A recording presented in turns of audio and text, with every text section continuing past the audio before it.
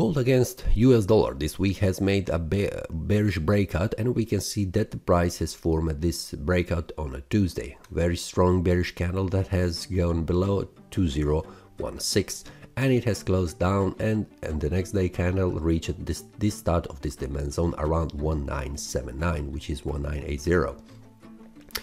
After that the price has made a small uh, bullish pin bar which has triggered the price for returning back up up to 2016 and the price stopped right here. On the weekly analysis this looks like this where the price has formed a large wick and small candle body where we can see that the price has closed below these candles and also below 2016 on the weekly time frame. On the monthly time frame this looks as, as a bearish candle and in the previous week analysis I have mentioned that I'm expecting that the price will drop down and this is something that has happened right now where we have a candle body still forming on the monthly time frame and we have two more weeks until this month ends so everything's still open. Until this week uh, two weeks ends especially the next week i'm still open to see the price going even more down and then we will see how this looks a very important level for the monthly time frame stays as, as before as the previous quick analysis and that is very important level 1980 which is a very important level on the monthly time frame. If it closes below this will mean a sell-off is still going even more down.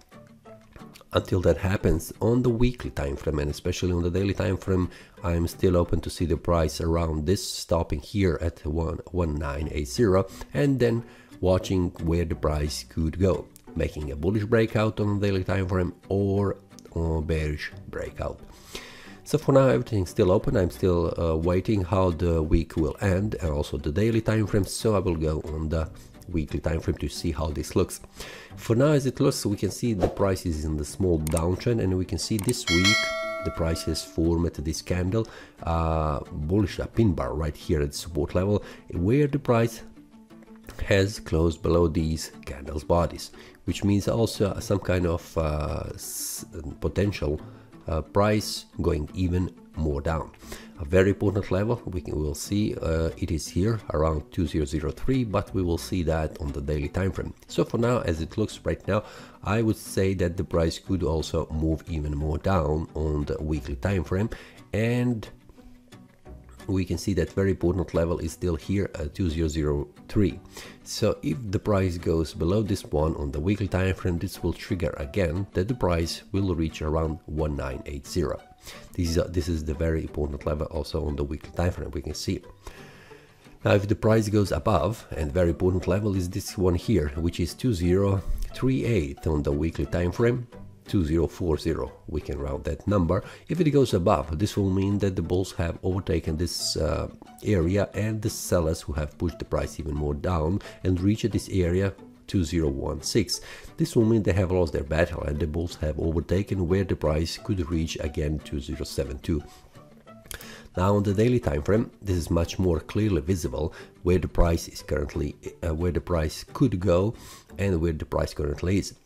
This was an area as a decision area where we have waited for the price that makes a breakout to the downside or the upside. The price tried to make a breakout to the upside two times unsuccessfully and then the price this week made a bearish breakout which means the sellers are much stronger and they have uh, pushed the price to reach around 1980 and then the price returned back up which means these are the candles, two candles that could not return back the price above in this week, which means the sellers are much stronger than the buyers are. So I'm expecting there is a potential that the price could form here uh, some kind of a bearish pin bar uh, that will suggest that the price will move down and reach around 1980. A very important level is this one here, we can see it 1980, which is a monthly and a weekly time frame support level and even though now currently daily. So if the price goes above, above 2016, the price will return back inside this indecision range area and then we will need to wait where the price will make a breakout to the upper side or to the downside.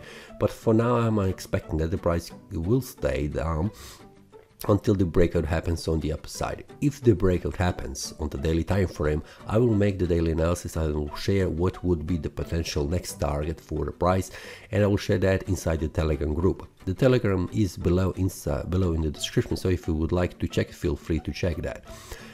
So if the price goes above, this will mean decision range area, and if the price forms here some kind of uh, price action signal, a bearish one, it will mean that the price will reach this area here.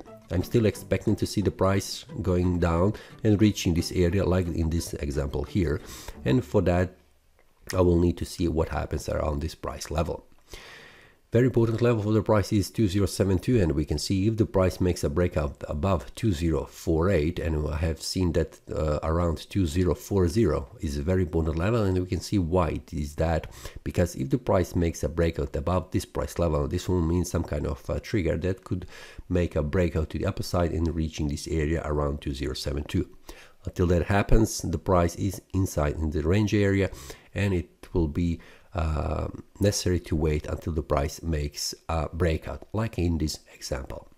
So this is all for this weekly analysis. See you next time and happy trading. That is all from today's analysis. I hope you enjoyed. If you have any question, feel free to leave a comment. If you like the analysis, click the like button and subscribe. See you next time and a happy trading.